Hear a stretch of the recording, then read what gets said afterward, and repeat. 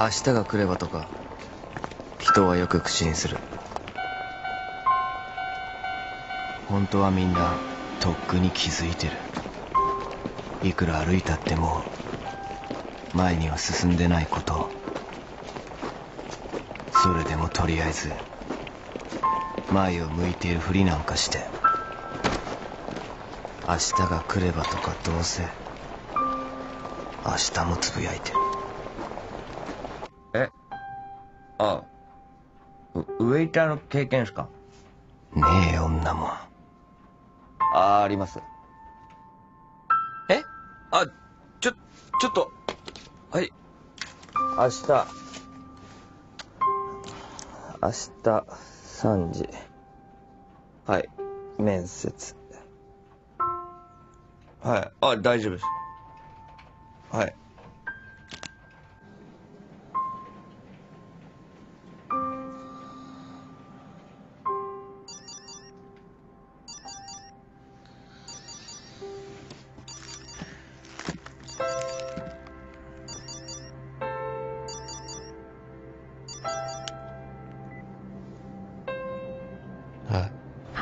やす久しぶり。元気？何？ああねあれだね。最近公衆電話って減ったんだね。すごい探しちゃった。だから何？うーん。あのさ母さんまた携帯止められちゃってさ。で悪いんだけどちょっとだけお金しもし。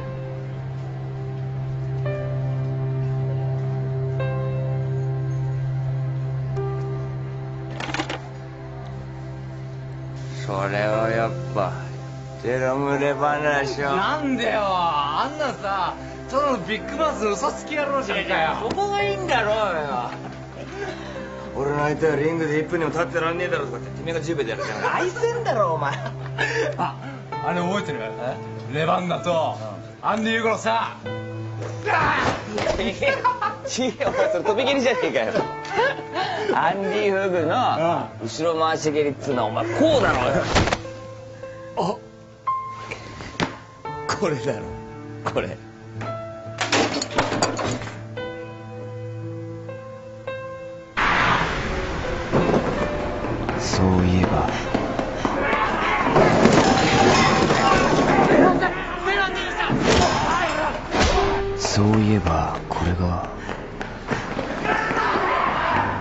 自分の足で走った。最後だった。クソみたいな俺の人生から逃げるために。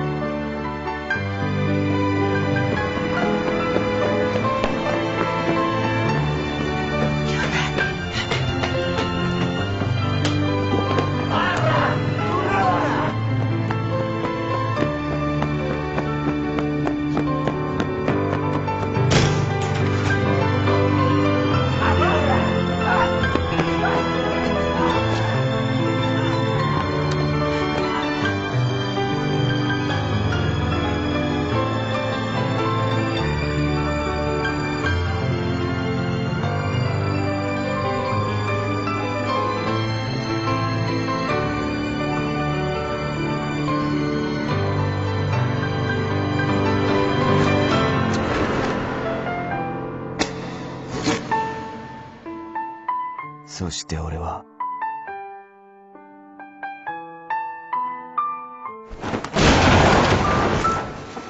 こんな時でさえどんな嘘をつくか考えていた。明日のバイトの面接に行けなくなった言い訳を。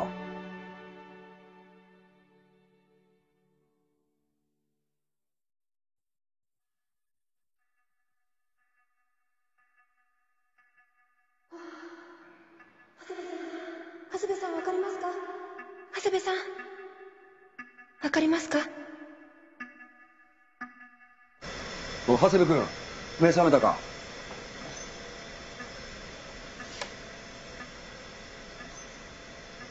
担当医の小宮山です。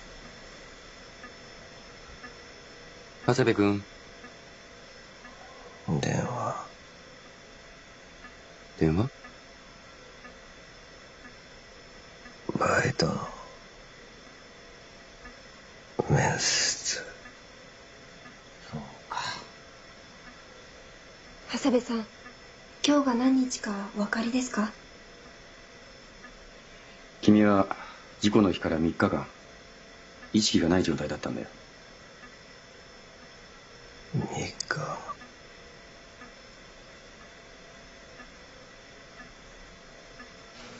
胸椎の11番目。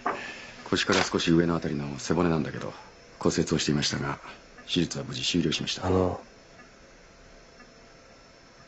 いつ頃退院できんすか？落ち着いて聞いてほしい。君は脊髄を損傷してしまった。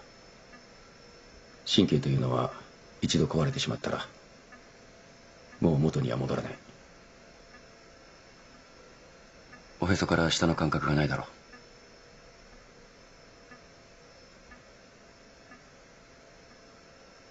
はっきり言っておきます。君はもう一生自分の足で歩くことはできない、まあ、突然のことで気持ちの整理がつかないとは思う。でもまずはその事実を受け止めておいてほしい。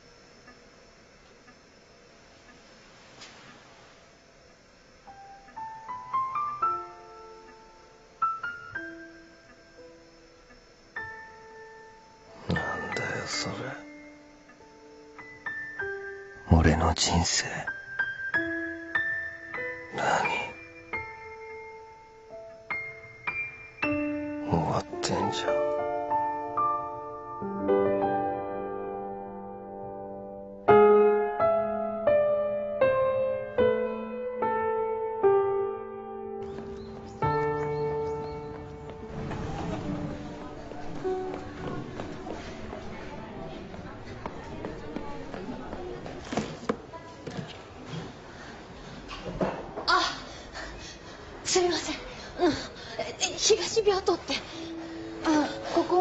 です。これよかったらどうぞ。すいません。あみのりさんみのりさん。はいこちら東病棟へご用事みたい。長谷部安之の母です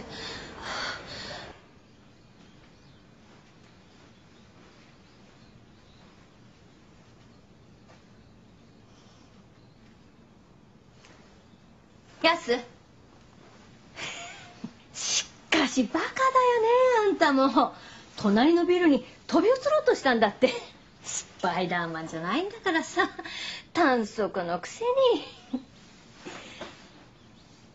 に。ねえ一緒にいた佐藤君ってあの茂君でしょ？中学で同級だった。あら鼻の骨折られちゃったんだって？聞いたんだろなんだってさ。まあ俺はもう歩けなくなんかさ食べるもの何でもいいんだってよ。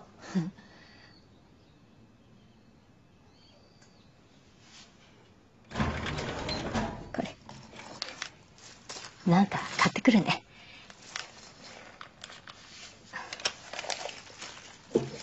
今手持ちがなくてさ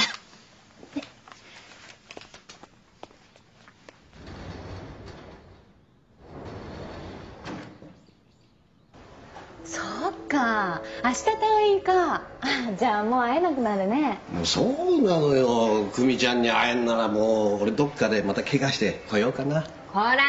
いや嘘嘘ですよ。はいほらもう5時。あお店閉めますよ迷惑になるよねほらまた明日も来ますからまたねメロンパンだ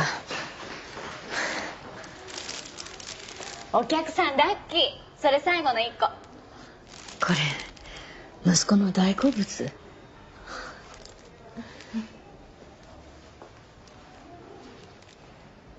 あれからずっと生きてきてこんなことに結局こんなことになっちまうならあの時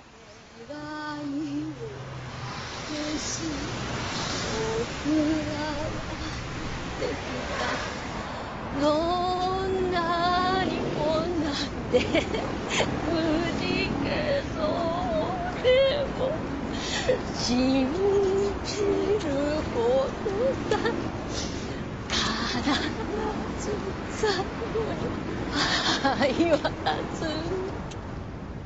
こんなにこんなんでくじけそうでも信じることさ必ずお母ちゃん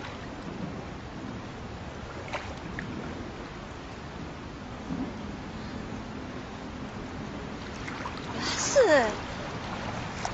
行っちゃおうかこのまま二人で行っちゃおうかきっと今よりずーっと楽ちんだから。すぐに楽ちんになれるからさ。お母ちゃん寒い。冷たいよ。楽ちんじゃないよ。帰ろうよ。僕がお父ちゃんにお願いする。もうお母ちゃんぶたないでって。僕がお願いする。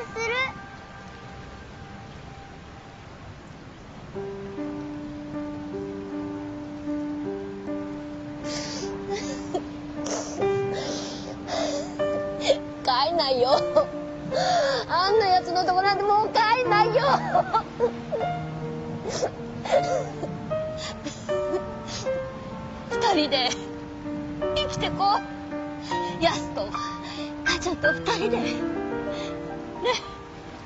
俺の一番古い記憶。それは川の水の冷たさ。頑張って。生きてこう。死んどけよかった。お待たせ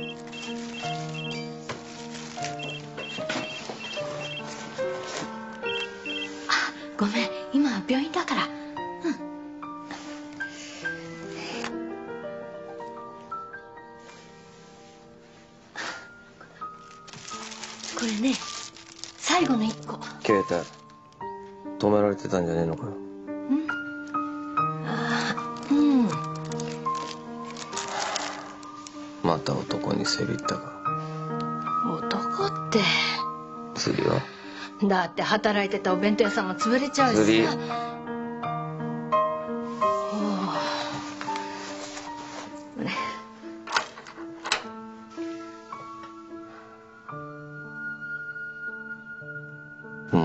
ていいか。らねやす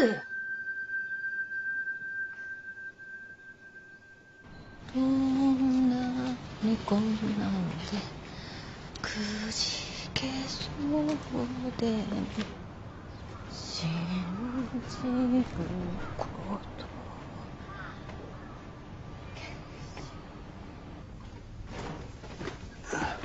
あ来てたんだ。うん。ごめんたくちゃんさっきは病院だったから。なんか作んね。あるちゃん。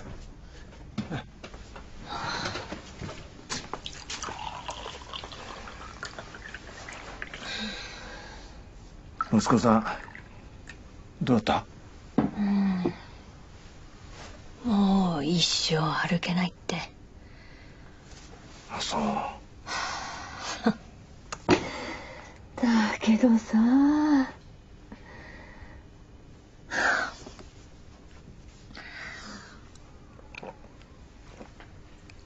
こんな時母親としてなんて言っていいか分かんないよね。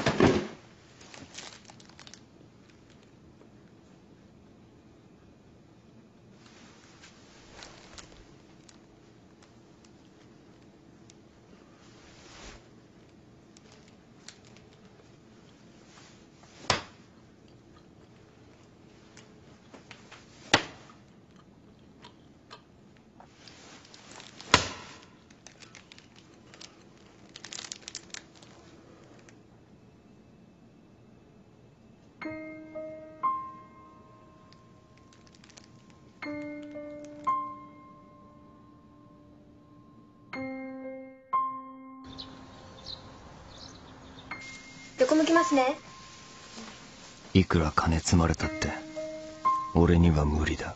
今日もいいお通じでしたね。他にもっと楽しい仕事あんだろうが。じゃあ流しますね。お湯の女に気をつけて、長谷部さんは下半身の感覚がないんだからね。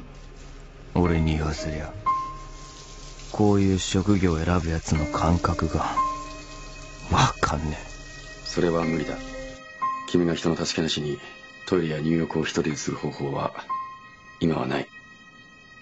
君はもうこれまでのような生活はできない。これからは今までとは違う人生になるんだ。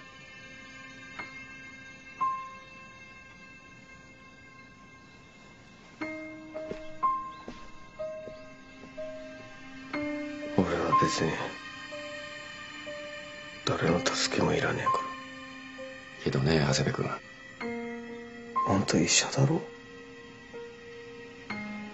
医者なら治すよ。諦めんなって。俺を歩けるようにしてみせろよ。覚悟を。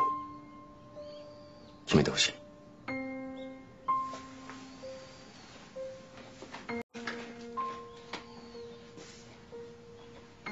これからはこれが君の人生だ俺の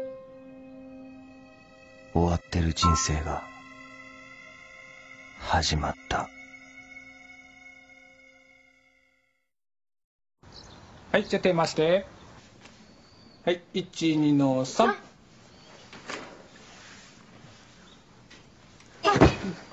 大丈夫ですか？大丈夫大丈夫起きるよ。せーの。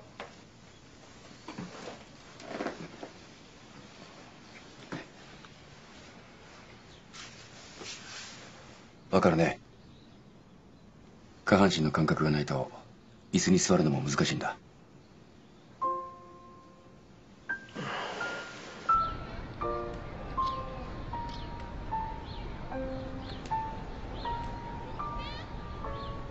気持ちいいですね。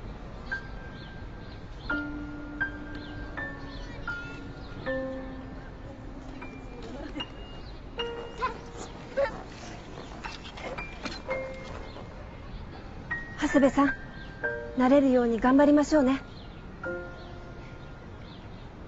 看護師さん点滴外れちゃったよ。はい今行きますから。ちょっと待っててくださいね。すいません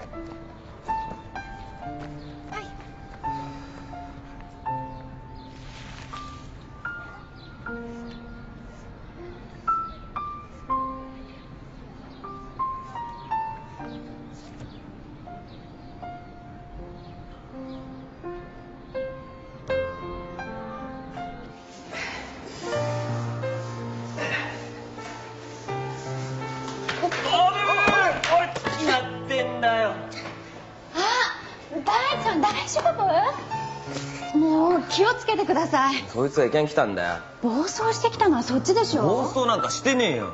車椅子ならみんなが避けてくれるとでも思っだからそいつが来たんだって。ごめんなさい。いいから大ちゃんが謝ることない。やすごめんなさい。僕がいけないんです。大ちゃん。気をつけろよお前どうしたのやす関係ねえよ。あ車椅子乗れるようになったんだ。もしかしてメロンパンの？息子です。あすいません。はい。下着の買いとか置いといたから。いいからそういうの。でもさやすはこれからいろいろ一人じゃ。あのさ自分で言ったこと覚えてるよね？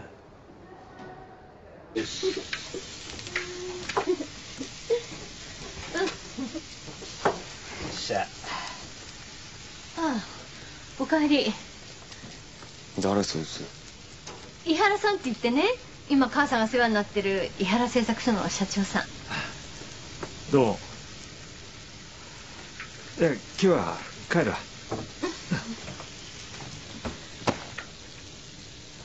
逃げんのかよ？やめなさいよ。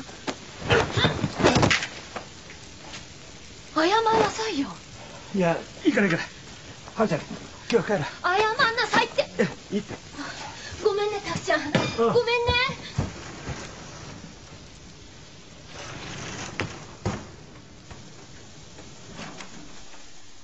俺が邪魔ならそう言えよ。たらもうこんな家は帰ってこねえから。待ちなさいって。話せよ。いいじゃねえかよ別に。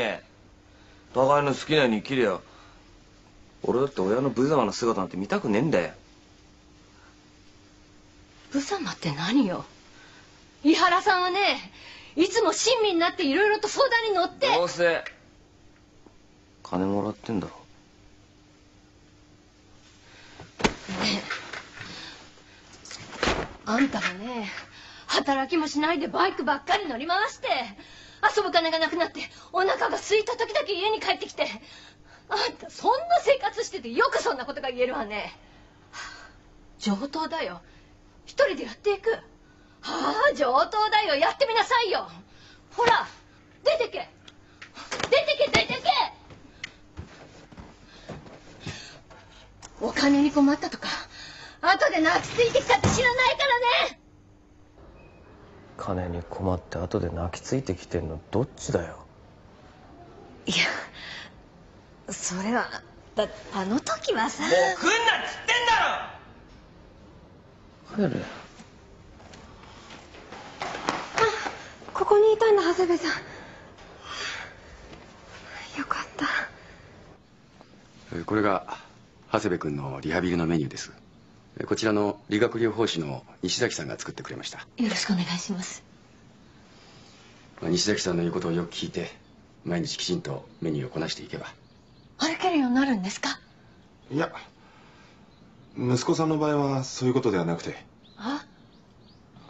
例えばベッドとか車椅子とかの乗り降りを楽にできるようにしたり。うん直してほしいんですけど日本のっていうか現代の医学ってすごい進歩してるんですよね。だったらなんか手術とか薬とかなんかそういう少しでも可能性のあることに挑戦してくれたりできないんですか？いやそれはね。お医者さんならお医者さんやってんなら諦めないでください。お願いしますお願いします。やめろみっともやす大事なのはまず現実を受け入れることです。望みを持ってはいけないんでしょうか？それは諦めろってことだよ。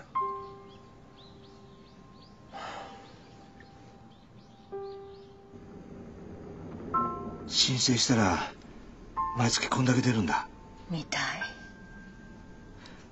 これちょっと預からしくない？え？こういうの担保に金貸してくれるところあるんで。役所のお墨付きだし間違いないから。どうして？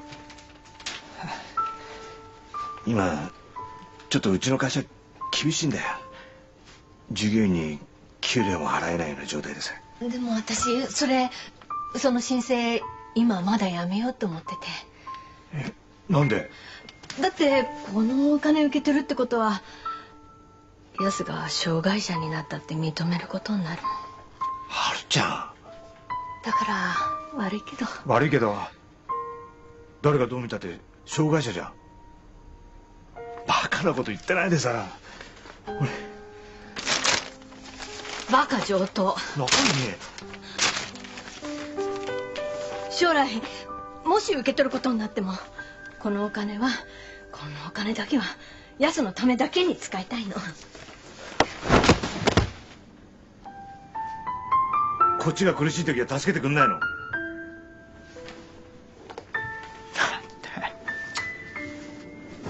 鍵を置いてってね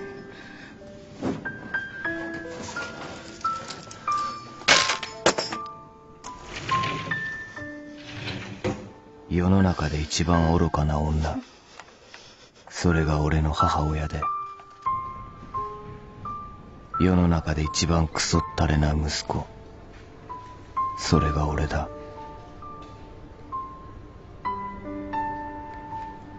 みんな頑張ってるんですよ。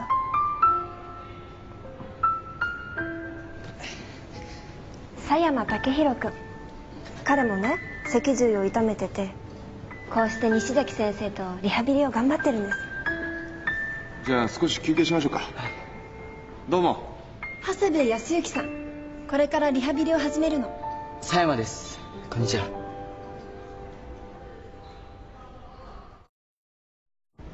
まずは目標はすごく低く置いとくんですよ。それでそれに一生懸命チャレンジしてクリアしたら次の目標を設定する。それをどんどんどんどん繰り返していくうちに、まあ、ある日ある地点に行くともうそこは富士山の山頂だったみたいな。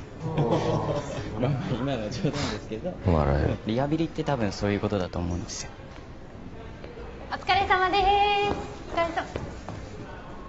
おや？いよいよですか。どうです長谷部さん。少しやってみますか。興味ないんで。長谷部さん。いやついてこなくていいから何あの態度ああどれがババでしょう。それババだよ。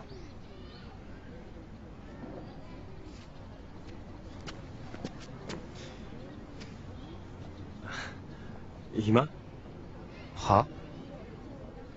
心理カウンセラー。そう。がこれになんのよ。いや別に。え病院側の方針でね週に2日この部屋にいてくれって。でも暇でね。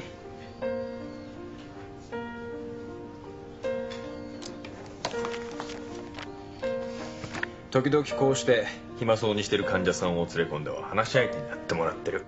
いや俺別に暇じゃねえんだよ。格闘技好きなの？誰のファン？俺さピーター・アーツも好きなんだけどさジェロム・レバンナってのがいてさ。知ってる？あんなのただのビッグマウスの嘘つき野郎でしょ。そこがいいんでそこが魅力的なんじゃん。俺は無敵だとか言っときながら試合に出るとボッコボッコにやられちゃうっていうね。実に人間的だ、人間的？俺はね彼がね嘘つき野郎でもビッグマウスでもないと思うんだよ。彼は本気で信じてんだよ自分の力を。何度も同じ巻き方してんのに。そんなもんだろ人間なんて。え？ああごめんごめんごめんごめん。名前聞いてなかった。なんだっけ？え？いやまあ長谷部。長谷部君よろしく南です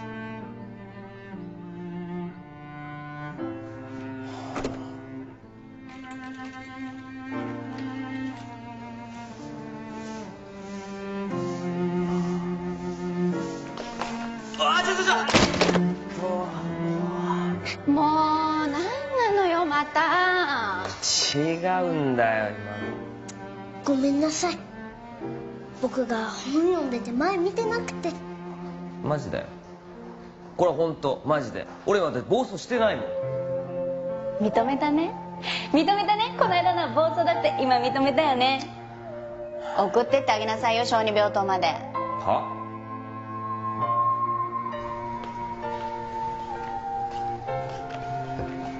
これは俺がお前を送ってるってことでいいんだよな。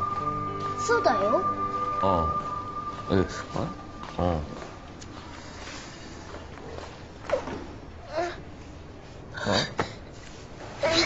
どうした？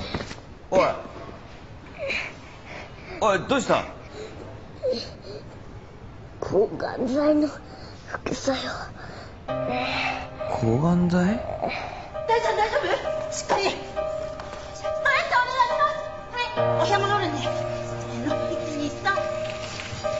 呼吸して。ゆっくり呼吸そうそうそう。はいお部屋戻るよ。はいゆっくり呼吸大丈夫だよ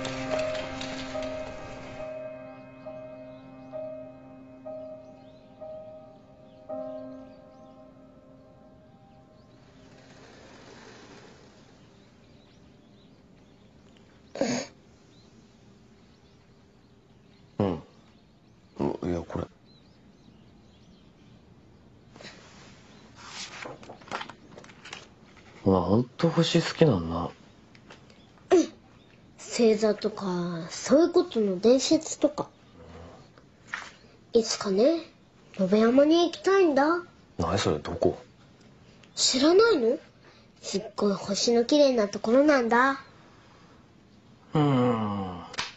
つうかさお前男だったらうんなんつうのこうなんかこいつのそのうん野望を語れよ野望。野望？おじゃあお兄ちゃんの野望って何？お俺の俺の？俺の何何？ん？いやうん。いやなんていうかさまずは目標を低く設定しておくんだよ。でそれに一生懸命チャレンジしてクリアしたらまた違う目標を設定する。そういうことを繰り返していくうちにある日ある地点に立ったらさうんそこが宇宙の果てだったみたいな。かっこいい。だろ？僕ね時々行ってるところがあるんだ。一緒に行かない？どこ？てかもう体大丈夫なのか？かっこいい人がいるところなんだ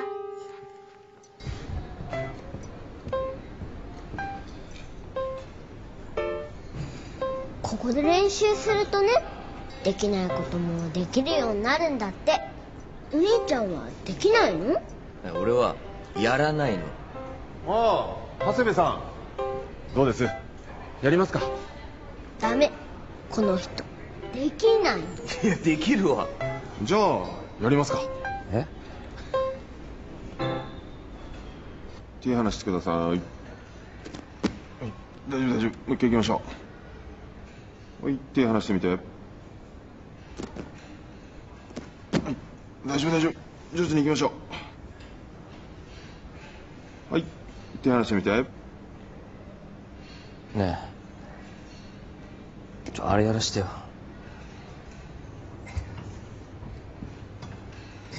あれは長谷部さんにいいから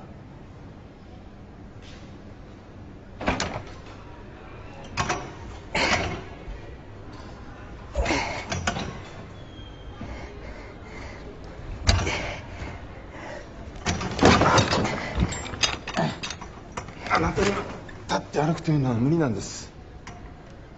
車椅子で自由に動けるようになる。それがあなたのゴールなんですよ。